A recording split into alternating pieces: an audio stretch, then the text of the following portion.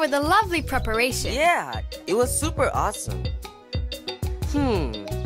So, what kind of dance moves should we do? What about this? Hop, hop, hop. Whoa! So you can dance? How did you do that? Well, actually, I used to be a great dancer.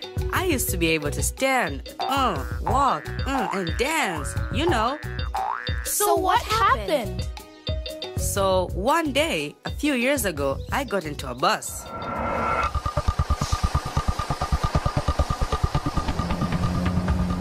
And the bus got into an accident.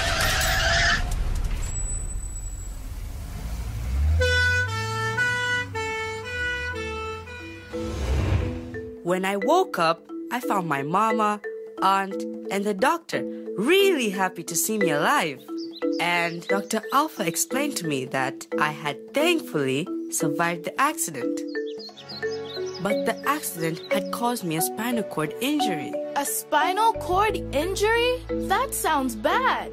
But why did it affect your legs if it's in your spine? Yeah, uh, so Dr. Alpha explained it to me like this The nervous system is the communication system of the body. It sends messages from your brain through your spinal cord, then onto the rest of your body. So, for example, when you want to walk, your brain sends messages to your legs to move them. Those messages pass through your spinal cord and down to your legs, then your legs move.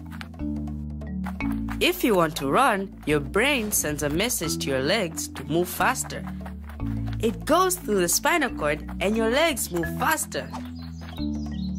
But then, when my spinal cord got cut, it was like when you cut an electric wire and electricity doesn't pass anymore. Those messages couldn't get through to my legs anymore.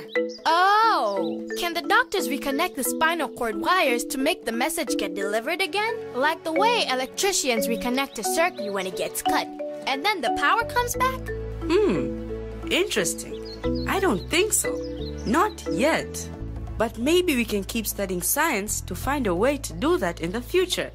So I couldn't feel or move anything from my waist to my feet. My brain would know I want to wiggle my toes, but since the message didn't go all the way there, because communication was cut from my waist to my feet, my toes didn't get the message, so they couldn't move. Dr. Alpha also told me that depending on the injury, for some people, communication is cut off in some or all areas below where the injury was. So if the point of injury is around your neck, then you'll not feel anything below your neck.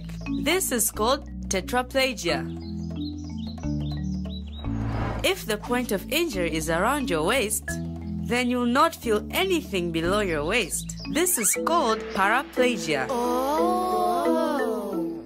So now that you understand, tell me, do I have tetraplegia or paraplegia? Um,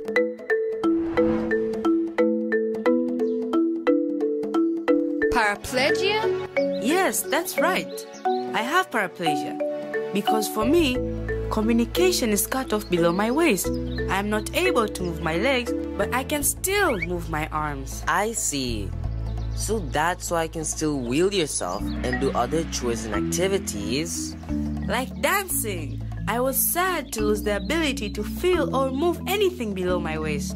But I'm glad I can still use my upper body and arms to move around and dance. Wow. Thank you for sharing that with us, Nuru. I'm so sorry I went through all of that. It must have been very hard. But you're so brave and inspiring. You're. What's that word again? Resilient, because you kept pushing through even when it was hard for you. I love how you dance. And I'm so sorry. I assumed that you couldn't dance just because you're in a wheelchair. That's okay, Kibena. Can you teach us your moves? Yes. Can you please teach us?